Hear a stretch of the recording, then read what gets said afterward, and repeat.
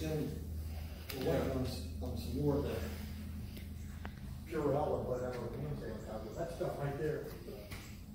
Smell. I can smell it from here. Yeah. It's a, it's a smell. I don't know what's in that. Maybe it's in a chocolate. Well, some of the places we have to get what's, what isn't obviously available. Well, right. Yeah, it was a shame we ran out of Purell. Is that the last bottle?